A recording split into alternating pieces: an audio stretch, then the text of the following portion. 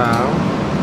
ครับวันนี้จะเป็นความก็ขอนำเสนอในส่วนของอุปกรณ์นะครับ ที่ใช้ในการวัดค่าความชื้นนะครับ โดยอุปกรณ์ตัวนี้นะครับ การทำงานของมันจะใช้ในการจับความชื้นรอบนอกนะครับ โดยที่จะมีตัว SHT15 นะครับ เป็นตัวรับอุณหภูมิหรือรับความชื้นในการที่จะประมวลผลนะครับ จากนั้นจะส่งเข้าไปที่ controller ในบอร์ดนะครับ แล้วก็จะแสดงค่าออกมาเป็นตัวเลขที่ display นะครับ โดยที่โมเดลตัวนี้เราสามารถโชว์ได้ทั้งค่าความชื้นและค่า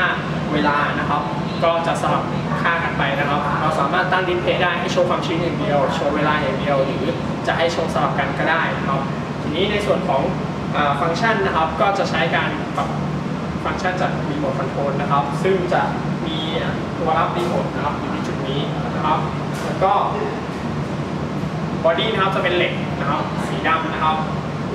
ตัวหนังสือนี้อยู่ที่ 6 นิ้วนะครับ 4 digit ก็คือ 4 หลักนะครับ โดยรวมของฮาร์ดแวร์อุปกรณ์ก็จะมีประมาณนี้ครับ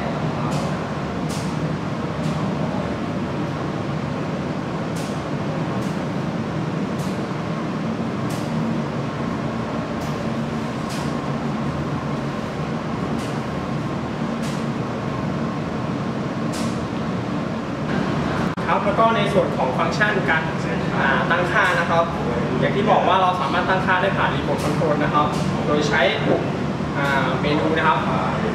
DSP ที่เป็นการเซต display นะครับ ก็คือเซตหน้าที่เราจะแสดงผลนะครับว่าเราต้องการแสดงผลที่หน้า display ที่เท่าไหร่นะครับ เป็นเวลากี่วินาทีนะครับ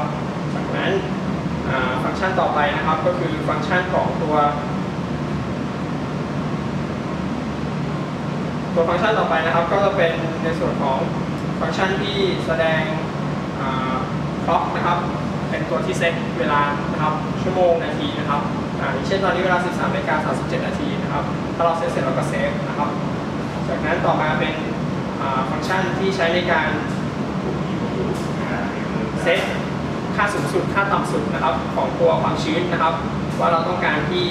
ต่ำสุดเท่าไหร่นะครับแล้วก็สูงสุดเท่าไหร่นะครับ เมื่อค่าต่ำสุดหรือสูงสุดที่เกินจากค่าที่ตั้งไว้ ตัว output ก็จะทำการ alarm นะครับ